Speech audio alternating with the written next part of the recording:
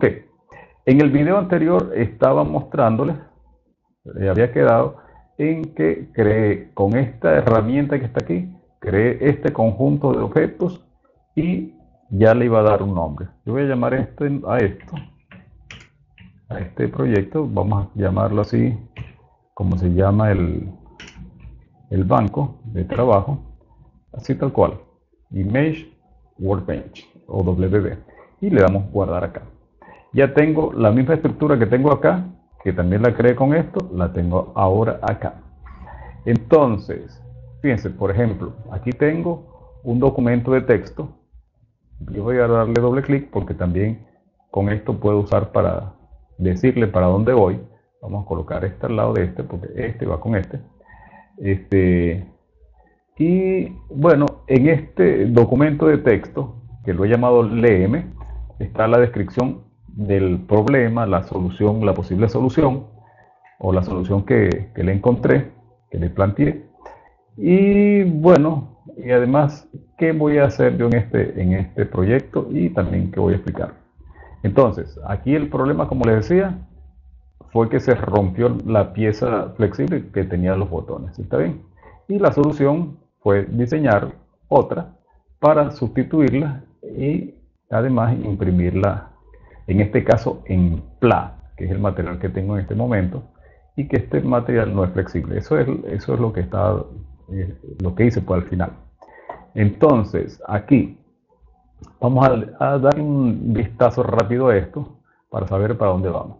Entonces, aquí mm, el, proyecto se crea, como le dije, usando esta herramienta. Tenemos esta estructura.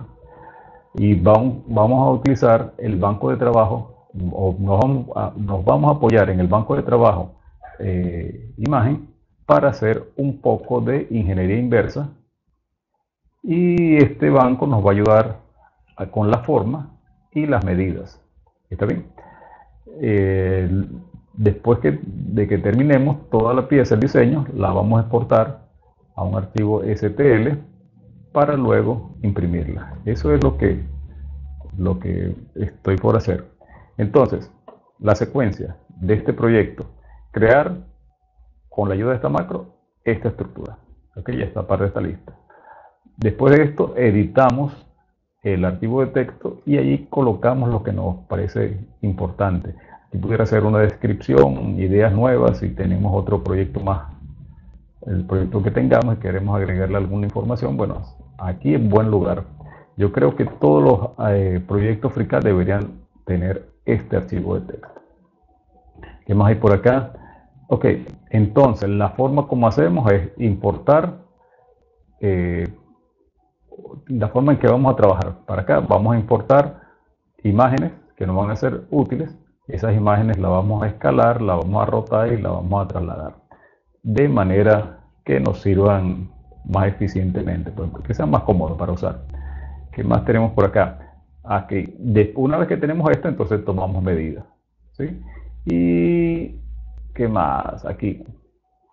Eh, en esta carpeta, ¿sí? aquí voy a crear una carpeta para eh, obtener los ángulos y la parte de traslación para mover las imágenes. Y aquí en esta carpeta voy a crear lo que sería mi diseño. En esta parte de acá. No aquí, porque lo sería la, la data de entrada, sino la coloco acá.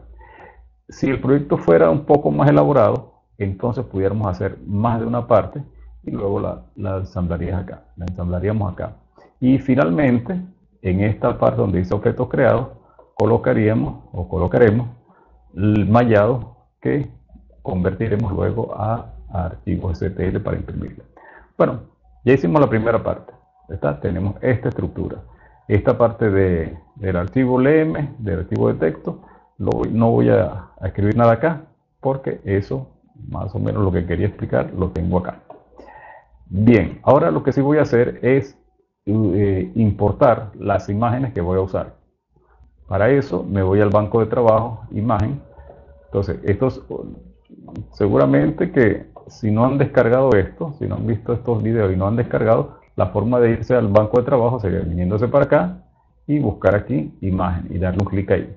¿Está bien? Bueno, yo voy a hacer usando esto de acá. Pero eso lo voy a hacer en el siguiente video. La invitación a que se suscriban a mis canales de Odyssey y de YouTube, a que compartan y si les gusta esto, le den dislike.